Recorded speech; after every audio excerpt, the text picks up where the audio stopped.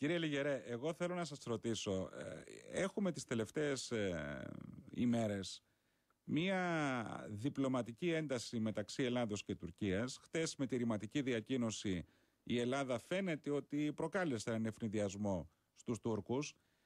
Θέλω να μου πείτε, επειδή το έχετε αναλύσει επανειλημμένα και το έχετε τεκμηριώσει το ζήτημα αυτό, πιστεύετε ότι μπορεί πράγματι, είναι εύκολο η Ελλάδα να προχωρήσει στην ανακήρυξη ΑΟΖ και να προχωρήσει σε έρευνες για πετρέλαιο και φυσικό αέριο όπως είχε δεσμευτεί ο Πρωθυπουργός εντός του 2013 ή είναι πολύ, πολύ σκληρά τα συμφέροντα διεθνή που παίζονται που δεν θα μας το επιτρέψουν; Όχι, κοιτάξτε, ότι υπάρχουν συμφέροντα που παίζονται, ναι, είναι όντως μια πραγματικότητα, αλλά ούτως ή άλλως ακόμα και αυτά τα συμφέροντα συγκλίνουν προς το θέμα της θέσπισης. Άρα η θέσπιση όχι μόνο θα γίνει το 2013, αλλά είναι θέμα εβδομάδων τώρα.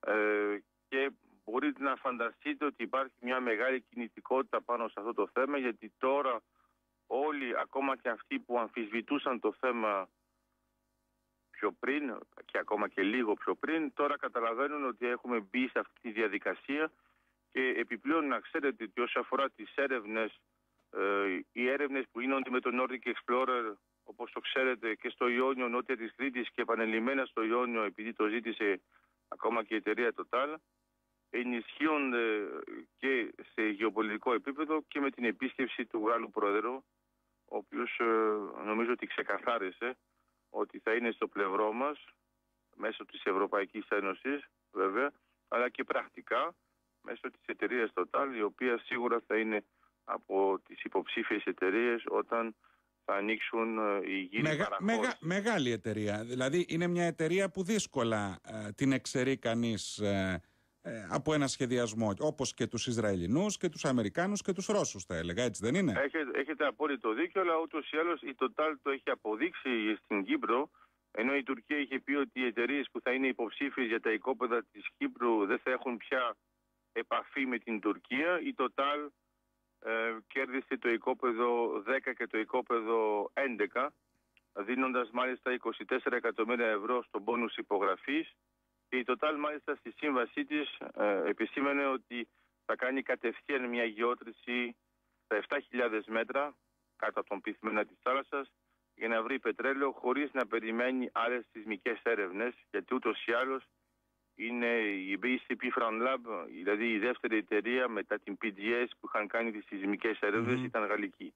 Άρα ναι, ναι. πραγματικότητα ήταν επιπλέον και είναι ακόμα υποψήφια από, στα 7 οικόπεδα από τα 9. Όταν ξέρουμε λοιπόν ότι είναι η Total που ζήτησε να έχουμε ένα πλέγμα πιο πυκνό νότια της Κρήτης, ακριβώς εκεί που ξέρουμε ότι υπάρχει κοίτασμα και δυτικά της Ζακίνθου, ενώ είχαμε τελειώσει τη διαδικασία, άμα επιπλέον ξέρετε ότι έχουμε κάνει ήδη πάνω από 4.000 τετραγωνικά χιλιόμετρα επιπλέον από την αρχική σύμβαση με την PGS, γιατί έχουμε έξι εταιρείες που έχουν αγοράσει τους χάρτες μας, καταλαβαίνετε ότι η διαδικασία έχει μπει σε μια δυναμική που είναι εντελώς διαφορετική.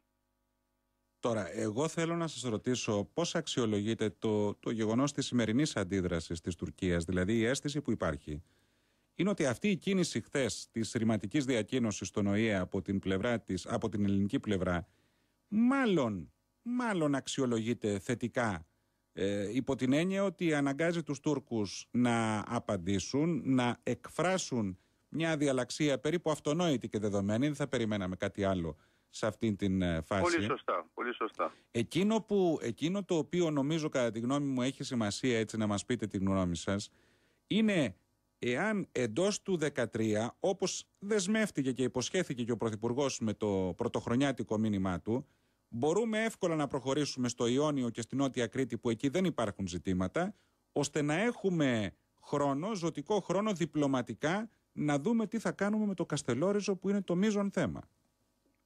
Έχετε απόλυτο δίκιο τουλάχιστον στο πρώτο σκέλος, αλλά πρέπει να ξέρετε ότι το 2013 όχι μόνο θα έχουμε την θέσπιση, αλλά θα έχουμε και την οριοθέτηση με την Αλβανία.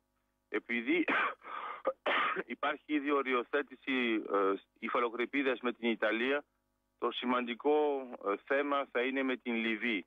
Πρέπει όμως να ξέρουμε όλοι μας ότι το Nordic Explorer πηγαίνει μέχρι τη μέση γραμμή χωρίς καμία αμφισβήτηση από την πλευρά της Λιβύης και αυτό το ξέρουμε πρακτικά γιατί είμαστε σε επαφή και με τον ε, Λεόντιο Πορτοκαλάκη που κάνει την καταγραφή καθημερινώς που βρίσκεται το καράβι και αυτό είναι ένα πολύ καλό σημάδι για να καταλάβετε τη διαφορά.